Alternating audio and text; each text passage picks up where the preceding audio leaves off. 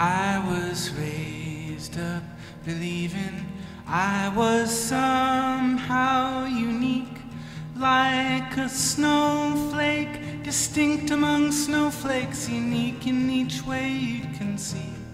And now, after some thinking, I'd say I'd A functioning cog in some great machinery serving something beyond me. But I don't, I don't know what that will be. I'll get back.